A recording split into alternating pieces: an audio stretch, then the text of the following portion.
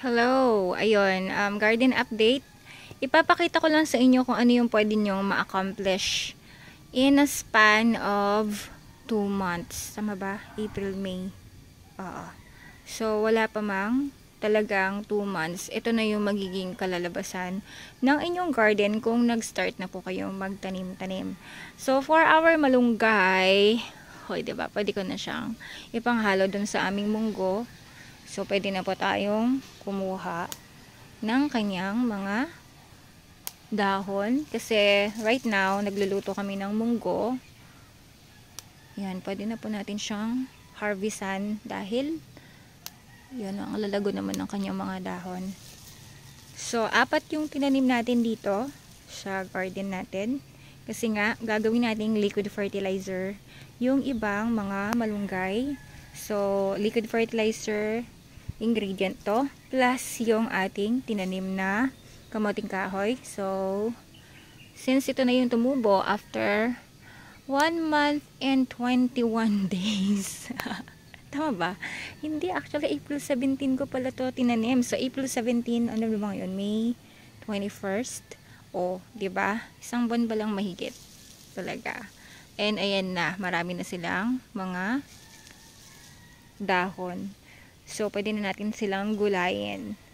And ito, medyo umaabot siya. Ito naman, um, nilagyan ko siya ng liquid fertilizer din kasi nga medyo parang hindi siya nakaabot kumpara dito sa mga iba na sobrang mayabong na yung mga dahon. So, uh, kung meron po kayong makukuha na ng malunggay pero wala pa rin kayong malunggay sa inyong bahay, isa na lang po ang ibig sabihin nun. It's either mm, or mm. anyway, yun nga, sobrang bilis lang talaga. Lalo na ngayon maulan-ulan, ba? So, Tsaka ito naman yung mga talong. Ayan, nakabawi na sila. So, from the time na tinransplant natin dito, isang buwan pa lang din mahigit. So, ayan, medyo umuokay na yung kanilang mga dahon. Imagine niyo after 2 months pa, di ba? Ibig sabihin yan, uh, maraming marami na kaming gulay na pwedeng i-harvest dito. Tapos yung mga pechay natin, lumalaki na rin. And yung ating uh, labanos. Tingnan naman yung labanos natin ang lago-lago na nila. And also, we have um, chili. So, itong chili na to, medyo matanda na siya eh. So, ang ginawa ko, kinat ko lahat ng mga parts niya na matatanda na. And then now, look. So, meron siya mga bagong mga dahon. And, ayan, medyo may mga bunga na naman siya. Gustong gusto ko to talaga ng mga ibon. Kaya, usually nauunahan kami ng mga ibon. Ito, alugbati. Alugbati. Ito pala ay ano, sorry, hindi siya alugbati. Ito ay spinach. Yan. So, local spinach siya. So, tinatalbos ko din to. Pwede din po itong panghalo sa mga munggo. And, tara, diba, March, katapusan ng March, alam ko, 30th ko to, tinanim dito. And look, o, diba? Ang dami na nilang bulaklak. And yung iba, I think may bunga na. So, hintay-hintayin lang natin to and then makakapag-harvest na tayo. Ayan, meron na nga siya. O, diba? Ang ganda ng shape niya. Ano po to? Um, spineless okra. Heirloom siya. So, yung mga kasunod yung bunga, magiging ganito pa rin yung itsura.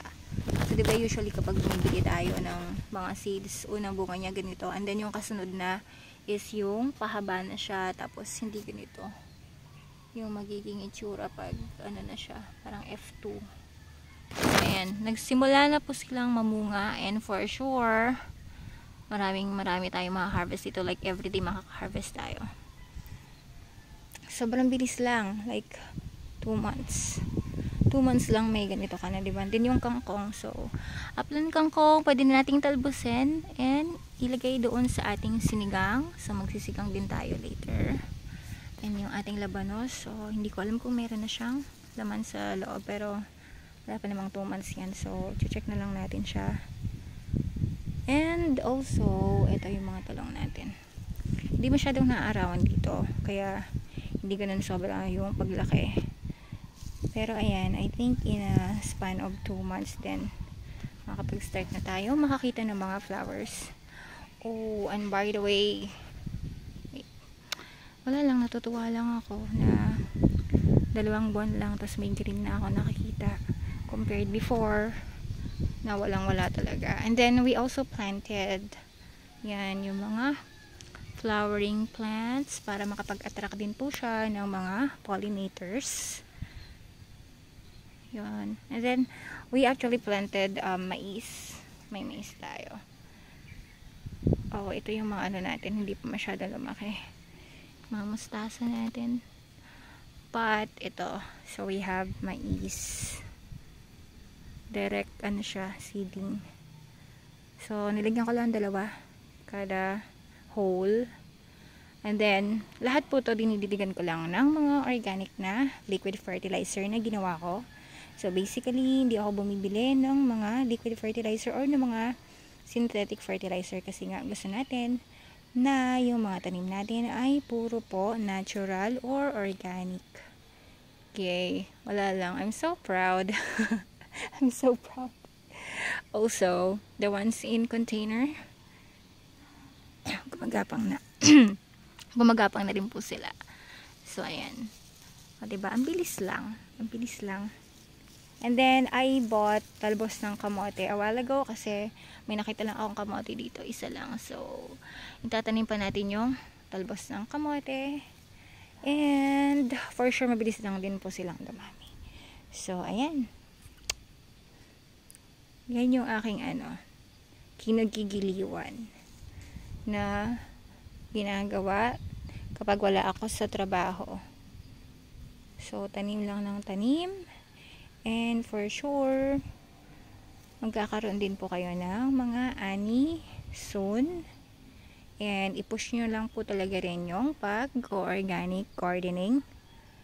Kasi once naman po na sagana sa organic fertilizer yung ating mga pananim ayan. For sure, hindi po kayo mabibigo. Wala lang, I'm just so proud na in a span of 2 months is meron na kaming pwedeng mga panghalo doon sa aming mga niluluto. Ayan, keep gardening guys!